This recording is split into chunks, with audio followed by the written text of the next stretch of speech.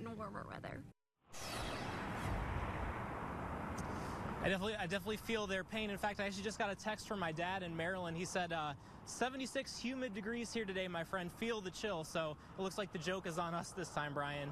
Oh, Tom, they're poking fun at y'all. I gotta love it. We've been laughing at people for so many days anyway. But look at this. Tonight, drop.